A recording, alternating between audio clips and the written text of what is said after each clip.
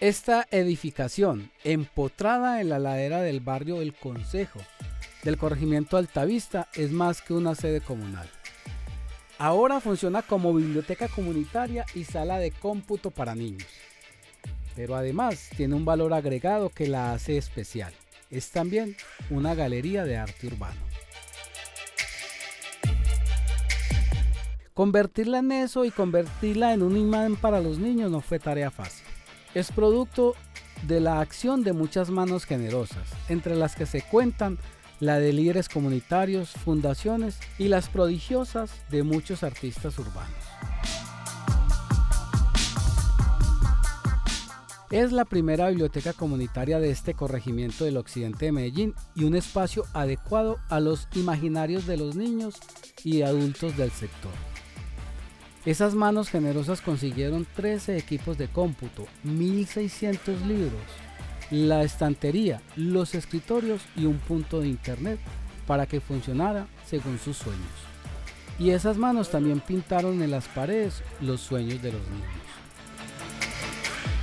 El aporte de los artistas creo que fue algo de lo más bonito que, sucedió también en este espacio porque era un espacio completamente plano e hicimos una convocatoria abierta, por decirlo así, invitando a los artistas de Medellín o a los artistas que pudieran venir acá al corregimiento a que nos donaran su obra de arte. Nosotros poníamos los aerosoles, la pintura y todo ello y ellos nos regalaban sus obras de arte y así fue. Entonces estuvo Pecas, Jess, Chota, El Topo y muchos artistas acá dándonos sus obras de arte. A Jonier lo apoyó la Fundación Sonrisas a la Calle, que no solo gestionó los computadores, sino que convenció a una constelación de artistas urbanos para que regalara parte de su talento y lo plasmara en diversas formas y colores. nos enfocamos en que no sea una apuesta solamente desde lo educativo o tecnológico, sino también que sea una apuesta desde el arte. Por eso desde el arte fue muy importante tener artistas plásticos para la fachada, eh, para los muros.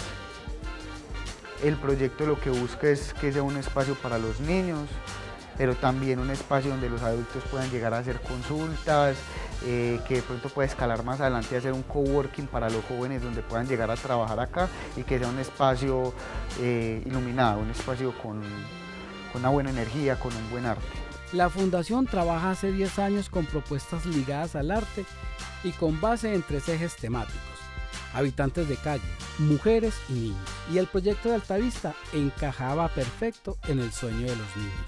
Este hace parte de los niños, de generar desarrollo y capacidades en niños.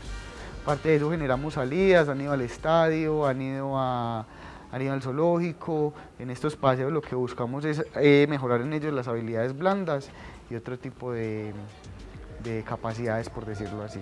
Altavista se muestra hoy orgullosa con este espacio, único, colorido, lleno de esperanza y atractivo no solo por lo que ofrece, sino por lo que muestra. Y lo mejor es que este corregimiento, como otros lugares de la ciudad, ya siente el efecto alienador del arte urbano.